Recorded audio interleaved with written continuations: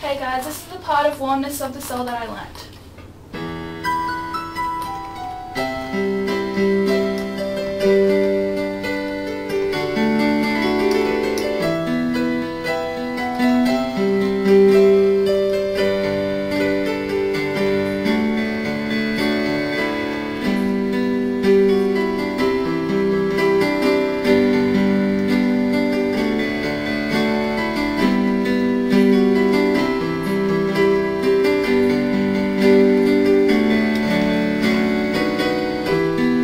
that's all. Sorry for the mistakes, guys.